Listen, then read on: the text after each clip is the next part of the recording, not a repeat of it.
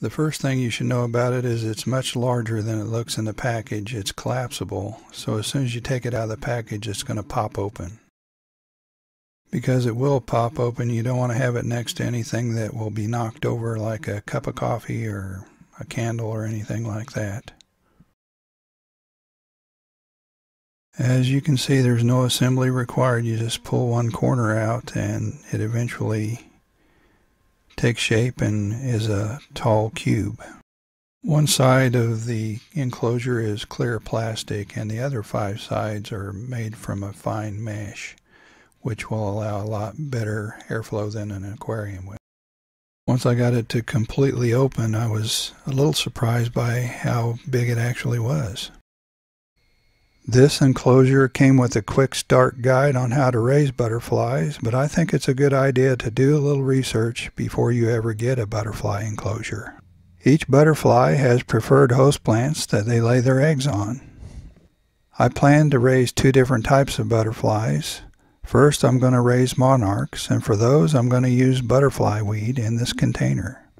The second type of butterfly that I plan to raise is the black swallowtail butterfly, and here's a look at some of their eggs that they laid on some of our parsley out in our garden. Black swallowtail butterflies like to lay eggs on parsley, carrots, dill, and fennel. A couple of months later, the butterfly weed had grown quite a bit.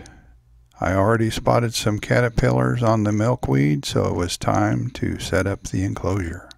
I put the milkweed container with the saucer inside the butterfly enclosure and underneath those is a piece of cardboard. Monarch caterpillars eat a lot and for that reason they poop a lot. The cardboard makes cleanup a lot easier. I also grow milkweed for monarchs to lay eggs on and that's where I got my caterpillars. Next, I transfer the caterpillars onto the butterfly weed by moving them leaf and all. As I mentioned, monarch caterpillars eat a lot, and for that reason it's a good idea to make sure you have enough food for them. After the caterpillar stage, they turn into a chrysalis, and inside the chrysalis is where all the magic happens. After 10 days to 2 weeks inside the chrysalis, it's time for the butterfly to emerge. This is the part that makes all of the effort up to this point worthwhile. You should let their wings dry for several hours before you release them. Black swallowtail butterflies can be raised in this enclosure, but they require a different food than monarchs.